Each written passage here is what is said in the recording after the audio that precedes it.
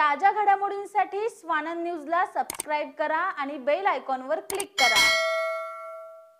कर्जत तालुक्यातील नेरळ परिसरात तीन दिवसांपूर्वी झालेल्या तिहेरी हत्याकांडाने रायगड जिल्ह्यात खळबळ निर्माण झाली होती. रायगड पोलिसांनी अवघ्या दोन दिवसात या हत्याकांडाचा उलगडा करून आरोपीस बेड्या ठोकल्या. घर नावावरती करून देत नाही आणि रेशन कार्डवरील नाव वेगळे करत नाही या रागात सख्या भावानेच भाऊ त्याची गर्भवती पत्नी आणि पुतण्याची निगरुण हत्या केल्याची धक्कादायक बाब पोलीस तपासात निष्पन्न झाली आहे. तीन मृतदेह आढळून आले होते. मृतदेहांच्या अंगावर जखमा असल्याने खुनाचा गुन्हा दाखल करण्यात आला होता. या प्रकरणी पोलिसांनी मयत मदन याचा भाऊ हनुमंत जैतू पाटील याला ताब्यात घेऊन सखोल तपास केला असता हनुमंत यानेच हे हत्याकांड केल्याचं निष्पन्न झालंय. तिघांची हत्या करण्यापूर्वी हनुमंत याने पोशिरे गावातील मामाकडे गेल्याचा बनाव केला होता. मध्यरात्री तो पोशिरे येथून चिकनपाडा येथे आला आणि तिघांची निगृण हत्या करून मृतदेह नाल्यात फेकून दिली. पोलिसांच्या हाती लागलेल्या सीसीटीव्ही फुटेज आणि कपड्यावरून हा धक्कादायक प्रकार उघडकीस आला असल्याची माहिती पोलीस अधीक्षक सोमनाथ घारगे यांनी दिली आहे. तर कर्जतमध्ये जो गुन्हा नेरळमध्ये जो गुन्हा घडलेला आहे तो कशा पद्धतीने घडलेला आहे आणि कशा पद्धतीने त्याचा तपास पोलिसांनी केलेला आहे? नेरळ पोलीस ठाण्याच्या हद्दीमध्ये चिकनपाडा गाव आहे. त्या ठिकाणी तिहेरी हत्याकांड झालेलं होतं. एकाच घरातल्या तीन जणांचे मृतदेह जे आहेत हे उड्यामध्ये मिळालेले होते.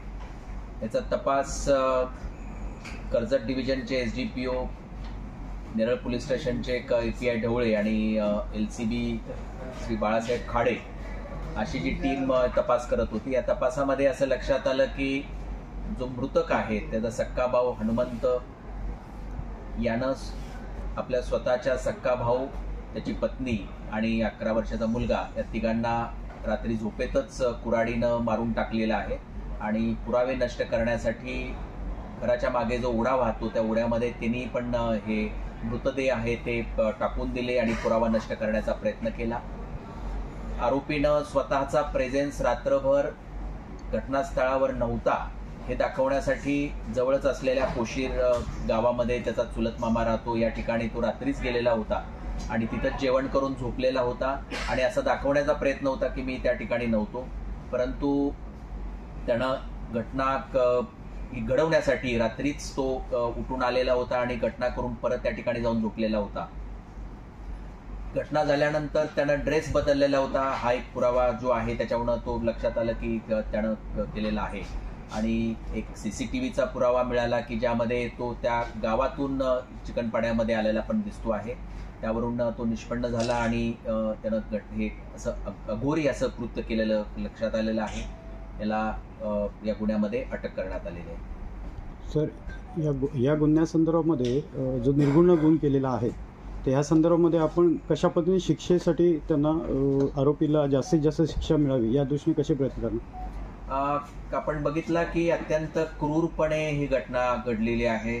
झोपेतच तिघांना मारण्यात आलेलं आहे. जी महिला झालेली आहे तर ती महिला जी आहे ते प्रेग्नंट पण होत्या. त्यानंतर जो लहान मुलगा म- मरण पावलेला आहे तो पण मायनर मुलगा आहे. आणि अशा पद्धतीनं क्रूर अशा पद्धतीनं कृत्य केल्यामुळे आम्ही या आरोपीला जास्तीत जास्त शिक्षा होईल यासाठी आम्ही त्या पद्धतीनं तपास करू आणि त्याचं दोषारोपपत्र आम्ही सादर करू. तर कोर्टात हजर केलं? नाही.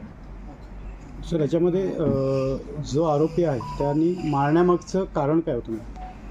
आता जे कारण पुढे येत आहे ते त्यांच्या प्रॉपर्टीचा हेतू आहे. क- घरामध्ये एक घर जे होतं ते मृतकाच्या नावावर होतं आणि घराच्या विभाजनावरून त्यांच्यामध्ये वाद होते रेशन कार्डवरून वाद होते.